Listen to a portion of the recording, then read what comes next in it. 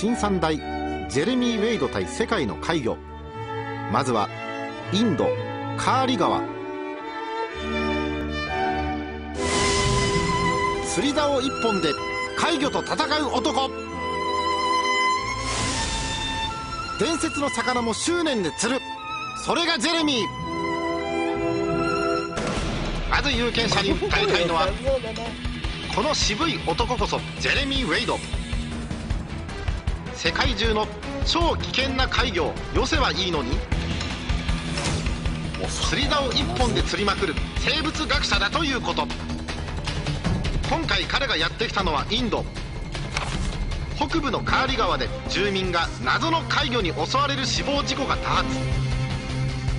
そんな人を何人も殺した怪魚を相手にジェレミーはもちろん釣り竿一本で挑むのであります。餌使わないカーリ川でひとまず偵察がてら釣り糸を垂らすジェレミー。すると.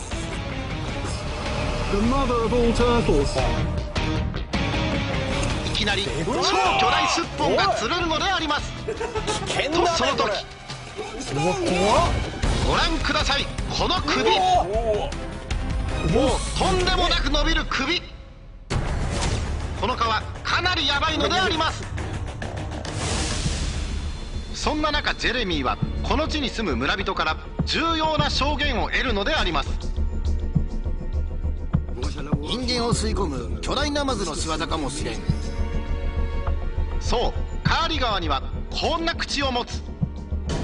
こんな感じの肉食巨大ナマズが生息しているというのです。犯人は巨大ナマズ。そう確信したものの何日待っても巨大ナマズは現れず。何があったのかもう服はボロボロなのであります。こうして粘ること1週間以上。ついにジェレミーの竿に大きな当たりが来たのです。そうかかったのはあの巨大ナマズ。あまりのデカさに引っ張られ下流へ流されるジェレミー。大ピンチ。この巨大ナマズだけは死んでも自らの手で釣り上げたいのです。しかしそんな思いで釣り上げた巨大ナマズが川岸にいた村人の目の前に。そしてェレミーを尻目に素手でまさかのまさかの豪快つかみ取り。するとジェレミーは猛ダッシュで駆け寄り自分が釣りました感を出すのでありますそれにしてもナマズとは思えない超ビッグサイズ。しかも重さは7 3キロ。えその大きな口鋭い歯はあの老人の証言と実にぴったり一致。これによりジェレミーはこの仲間が人を襲ったと結論付けたのであります。そして記念撮影を終えるとこの殺人ナマズを優しいキャッチリリースするのでありました。村人のためじゃないの？というわけでこの捕獲を新三大ジェレミー・ウェイド対世界の怪物魚の一つとさせていただきます。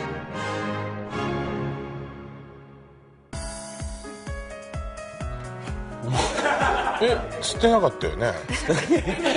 なななな触るんじゃない？あれ地元の人面白いね意図が分かってないのがいいよ。最後はキャッチリリース。いやとダメでしょ。だっていうことなんです殺人魚退治すんじゃないのよ。でもまあジェレミーには譲れないポリシーがありましてう絶対に魚を殺さない。というポリシーじゃあがもう別に殺人魚行かなきゃいいじゃない。そう。よよりやっぱりナマズは人間への憎しみが強くなる。あんなにされたら。ね次見ていきますか。続いてまいります2つ目は日本の琵琶湖での怪魚との戦いです。日本来てんの？ジェレミー。ジェレミーが？あ俺言っちゃう言っちゃうねこれ。ね新三大ジェレミー・ウェイド対世界の怪魚。続いては日本琵琶湖。釣りバカ博士日本へ行く日本古来からのロマンをズバッと解決。まず有権者に訴えたいのはあのジェレミーが釣り竿一本担いでついに日本へやってきたということ。早速築地市場である生き物の聞き込みを始めるジェレミー。頭にお皿がついててそうなんと今回のジェレミーは日本に伝わる謎の生き物。カッパの正体を突き止めるため来日したのでありました。こんなことやってんの？とにかくカッパにまつわる歴史遺産を調べ回るジェレミ。ーいいね。それは熱心に。私見よっかなこの熱心すぎるぐらいジェレミーは。スケッチしまくるのであります。ケッチどうした？そしてあることを確信するジェレミー。その口や頭の形。さらにその爪の形から。なんとジェレミーはカッパの正体にある程度目星をつけるのであります。早速自らの考えを証明すべくジェレミーは琵琶湖の支流へ。浅瀬でめちゃめちゃカッパを探しまくるのであります。そしてついにあジェレミーは捕獲に成功するのです。暴れ回るカッパ。うわすげえ。葉っこの瞬間日本古来からのカッパ伝説に終止符が打たれたのであります。オオサンショウそう。ジェレミーが捕獲したのはオオサンショウウオぱダメだ天体長然記念1メートル20センチにも及ぶこの大きなサンショウウオこそがジェレミーの言うカッパだったのです。This guy is nearly four foot long. Now, those descriptions I heard of the kappa, it sounded just like this composite animal, a mixture of different bits of different animals. And I mean, what is there that is like that? Well, I think this is it. いやいやいやいやいやそこには確かな証拠が平らな頭そして広い口長いヌルヌルした体これらの特徴からジェレミーはオオサンショウウオをカッパと結論付けたのでありますというわけでこの捕獲を新三大ジェレミー・ウェイド対世界の怪魚の一つとさせていただきます。いやすごいあそこまで断定されたのね。放山椒を大丈夫なの？あんなことやって、ねあれ怒られない？あの映像を流してあれ。大丈夫なの？専門家が一緒なのであなああなるほどね。あんな乱暴に扱ってもいいの？ぐるんぐるんさせてたよ天然記念物あ乱暴してきたのは向こうの方だあそうあそううん。そうね。カッパの方だけどれステートボーイよねあれね。あーすごいね。すごいねこれ。釣り竿一本っていう歌い文句どこ行ったの？完全釣り竿。最後捕獲捕獲だから偽りありまくりだぞ本当に、うん続いてまいります。3つ目はコンゴ共和国コンゴ側での怪魚との戦いです。この回はコンゴのある村で人を襲い続ける過去最大級の攻撃力を持つ怪魚に村人の期待を背負ったジェレミーが挑みます。それでも逃がしちゃうんでしょ？村人の期待は裏切られることになるよまた。今回は結構すごい結末が待っていたんですよ。ご覧ください。新三大ジェレミー・ウェイド対世界の怪魚。最後はコンゴ共和国。コンゴ川。こんな顔見たことない。最強の怪魚現る。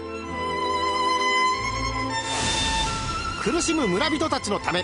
行くんだジェレミー。まず有権者に訴えたいのは今回の怪魚が過去最も攻撃的な相手だということ。その名もゴライアスタイガーフィッシュ。この稚魚が大きくなると鋭い牙で人を襲うというのであります。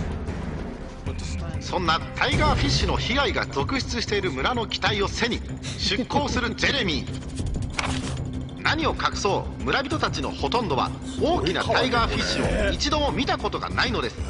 それほどまでに釣り上げるのが困難な怪魚なのであります。ジェレミーの竿は大きくしなり当たりはあるもののその姿を見ることはなかなかできないのですその後何度ヒットしても結果は同じ真面目なジェレミーはめちゃめちゃへこむのであります It is an odd thing about this fish. It definitely does, ex- and it really does feel like a. it really does feel like a test of character, もう心配になるくらいへこみすぎなのでありますそんなへこみまくったジェレミーは気休めに村の手術師を訪ね助けを求めるのでありますそして村人総出のポジティブな儀式を受けるのですとはいえジェレミーは学者迷信など信じず己の経験値で勝負すると思いきや And he has said that the place to catch the fish is to come all the way up here from the village and then work down. めちゃくちゃ精霊信じまくりなのでありますするとお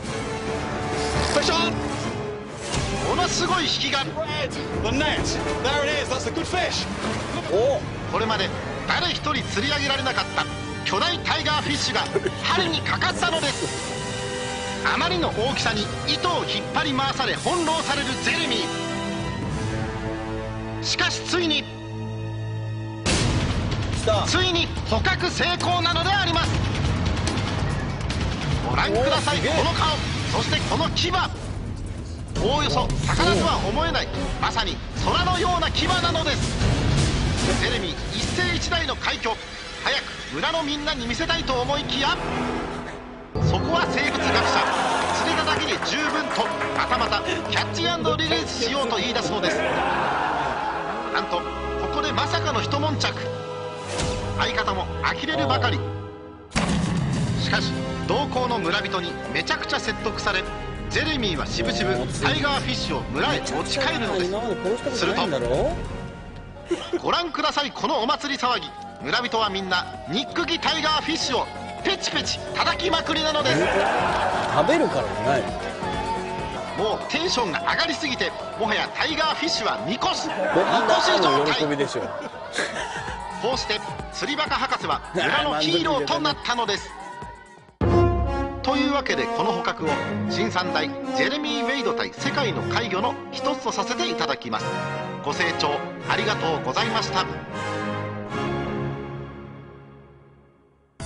の短時間でいろんな矛盾が出てきすぎだろう。今まで殺したことがないんだろキャッチアンドリリース。でこのタイガーフィッシュ、初めてコンゴ川に来てから25年も狙い続けていた魚でようやく念願叶ったということですね。誰が？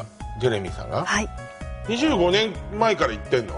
は下手なんじゃない？ひょっとしたら。違いますひょっとしたら。それだけ釣れないお魚なんですって本当でもなんかなかなかいいよね。あれだけのなかなかの色男がうん。バカなことしてるのってね。あとバカなことしてますよって一切やら言わずにバカなことしてるってうん。すごいね。いいね。見てる人ってどういうテンションで見てるのかな？